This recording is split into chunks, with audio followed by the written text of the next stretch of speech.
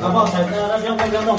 安抚他一下就好了。百福国中校园内出现小小三枪，躲进厕所，消防人员获报拿着网子慢慢逼近。他很他很好动。小三枪受到惊吓，不断的跳动，还发生尖叫。原来这支三枪在学生早自习时突然冲进教室，撞到学生的脚，让学生惊慌大叫。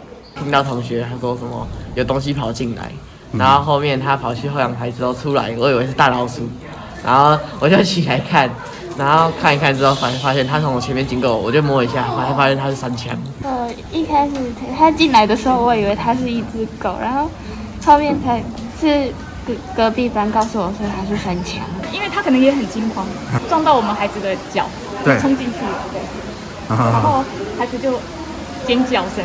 校方在第一时间发现三枪闯入校园，师生很机警，把三枪引导到女厕，最后把门关起来，通知消防局前来处理。而小三枪因为太过紧张，眼睛和脚都有一点受伤。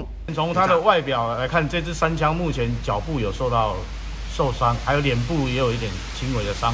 那目前我们已经通知动保处，那由动保处来把它带走，啊，做后续的治疗。那在此呼吁那个民众，如果有类似的动物啊、不明物体啊，或者进入校园的话啊，引起骚动，那最好还是诶先把它局限在一一部分的范围里面，诶交由相关单位来处理。